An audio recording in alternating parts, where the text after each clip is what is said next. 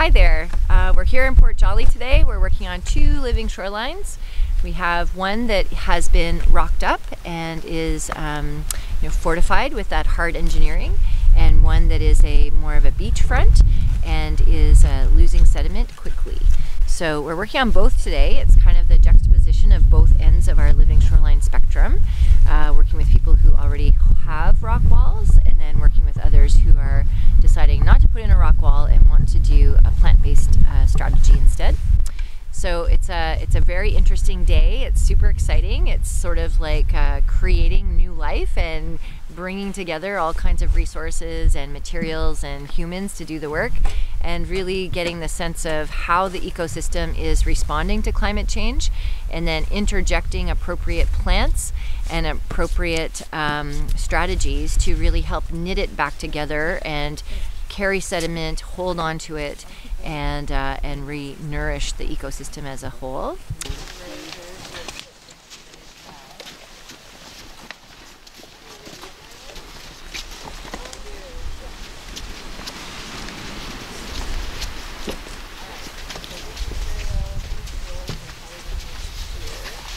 Are we dragging brush from a pile that is Uh, going to need to be cleaned up? Like, should we bring the rakes with us? We might want to rake some stuff into the woods, but yeah. Okay, so why don't we grab a rake too, and then we can take these rugosas and these pickles, these prickly plants.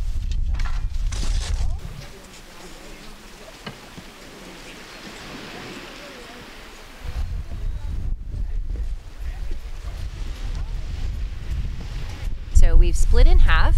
Half of the team is working on the rock wall shoreline project, and the other half is down the beach on the beachy end. Um, and we'll just keep moving through the process. Um, part of our work is to use as many of our own plants as possible and those of respected and um, successful dealers in the area. So we do buy some plants from other nurseries. Um, we usually buy them as small seedlings and then bring them to our nursery and grow them out in um, organic soils and we feed them well with our abundance fertilizer so that we can ensure that they're healthy and happy and that they will actually live throughout the process, the whole lifespan of the project. A few up there. We laid a bunch right here too. Okay. We'll just, Okay. you know, Yeah, you've got lots. Bring over. All right. Right on, right on. Um, do you need some some heavier muscle to move those logs, or are you just rolling? I think it'll be okay for now. Right here.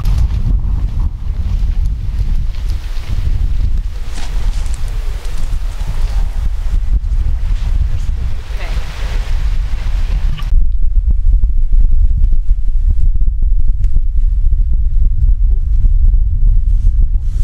Why did he have such an easy time the first time? I know.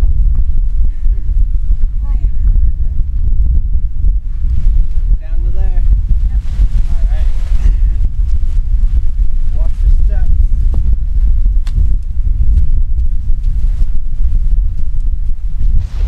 I would say yeah. you can grab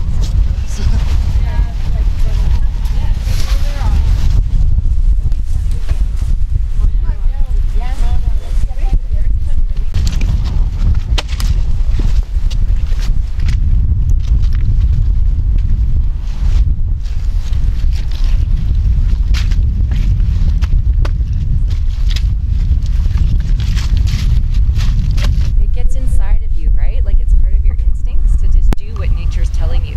So lots of times I'll say, just listen to the plants or just observe and then fix it or Yeah. do something to amend it, right? Because once you know, you know, Yeah. right? It's hard for me to be like, okay, all the grass is over here, Yeah. all the perennials here, all the shrubs, all the trees, like over and over and over again, right? Just mimic what's already there. Just look around and be aware. So like you're seeing it with a new set of eyes. Right. Yeah, that's really important. Great, great. Okay. That's what makes it so.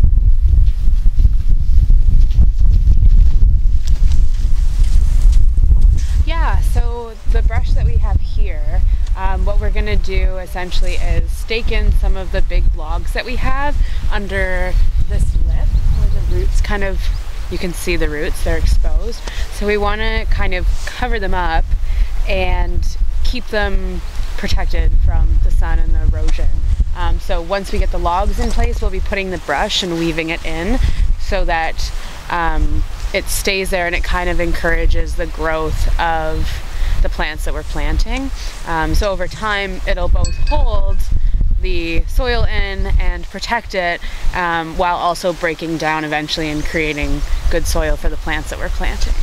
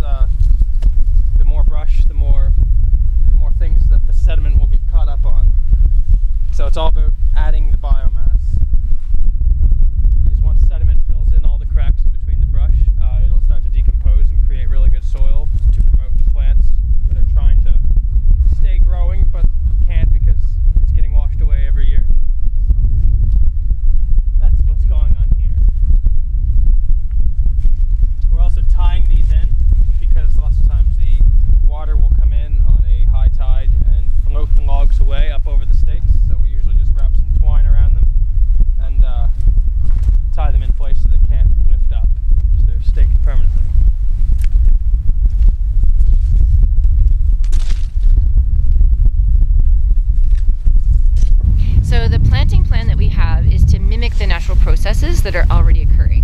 So if we just look over here, you can see the tree line, and then there's a shrub layer, and then it comes down to a grassy perennial layer, and then it's grassy, and then it starts to get shrubby again, and then there's a couple big trees, right? So in this location, we're actually missing part of the tree line because all we have is mature tree in this space.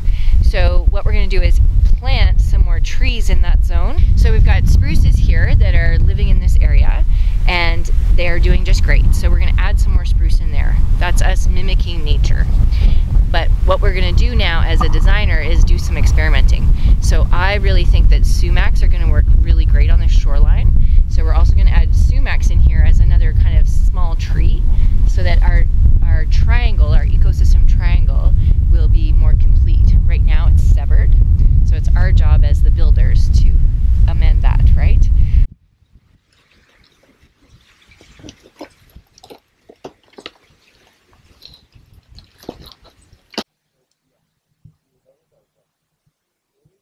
So the really important part of these plants is the root systems and the different types of roots. So each plant has a different quality of root system, um, whether it's a tap root or it's a wide spreading lateral root.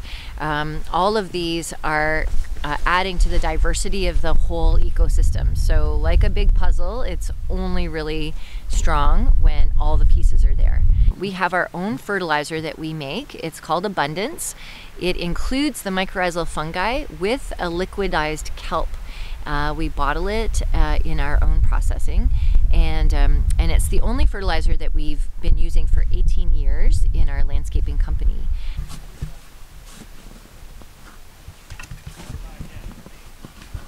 Mycorrhizal fungi is um, self-generated in a natural system.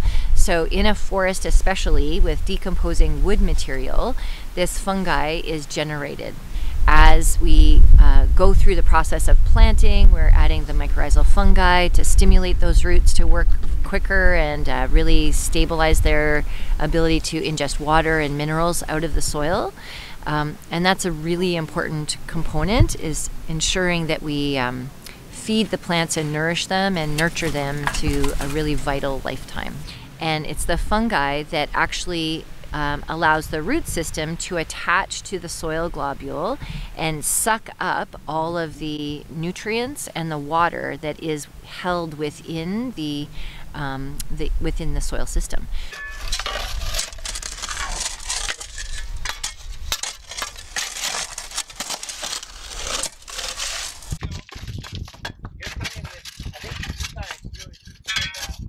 Um, so today we are planting a lot of grasses.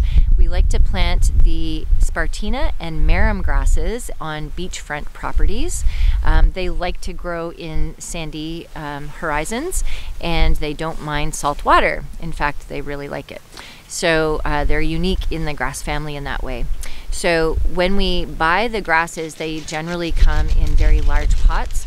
So we cut the nodes apart, usually in half or quarters, um, so that we are taking one nodal clump, one sort of family unit, and uh, planting it in each hole so that we can really disperse them widely and really be sure that each one of those little clumps is excited to grow bigger once again and send off little seedlings and babies.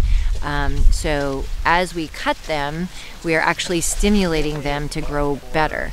So um, with the with the feeding and with the mycorrhizal, they'll really stretch deeply into the soil. They'll capture water. They'll be fed today and in a couple weeks, and they'll really produce a, a large amount of grass that is doing a lot of really good work for us. So it's holding the sand in place, uh, binding as one part, but also the blades of the grass will be diffracting the wave energy, and um, that will allow the water to actually drop the sediment in behind them. So we can see that there's an accumulation of sediment when we do the, the large grass plantings, and that helps to therefore stabilize the beach front so that the, um, the above ground parts of the landscape are more. Um, plentiful and more long lasting, right? Completing the parts of the puzzle.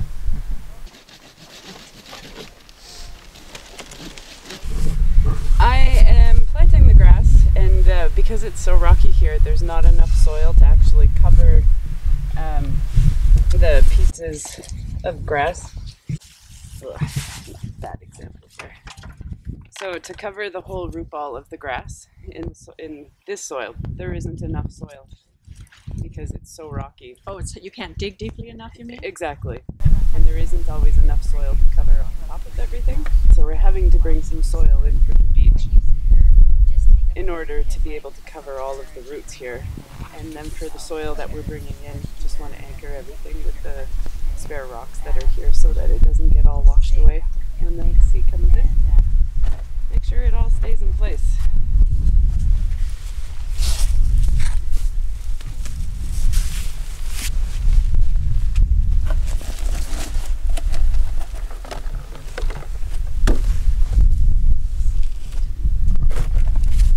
So these are one of the cuttings that the boys had done earlier. So I'm just breaking it up a little bit to let the roots have a chance to spread a little bit easier. And so I've already sprinkled some what we call myco down in the hole. And so now I just place the cutting in there. Push some sand. So luckily this one has enough sand to cover everything. basically we're done with digging and uh, we're, uh, we're, we're uh, what would you like us to do what direction Okay. Loki asked, asked for help Yeah. Lucas needs help with the staking, Okay. so you might want to go down there and help him figure that out. okay Got a big black fly. Black flies have just shown up. We're um, we're having some challenges at the other end with staking into the rocky shore. Last year when we did staking, a lot of sand was here, so it was easier to stake, and now it's all the rock is exposed. So they're trying to find ways to like get their stakes in place. So it's a bit frustrating and challenging, but um, perseverance and uh, and youthfulness helps a lot.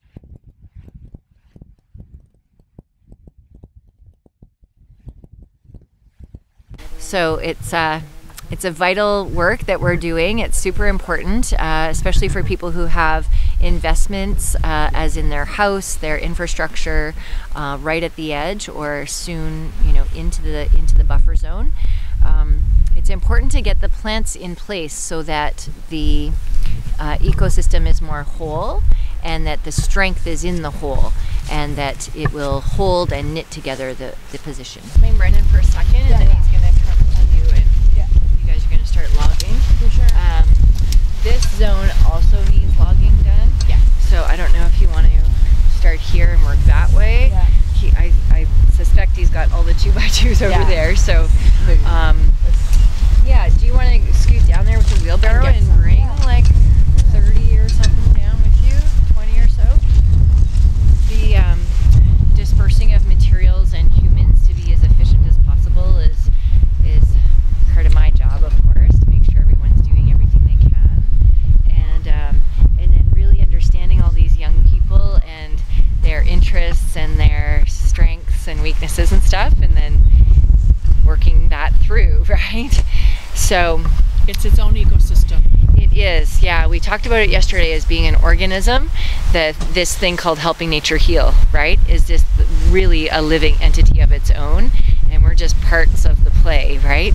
So, um, asking everyone to like step into their place, and if they really like doing a certain task, then go with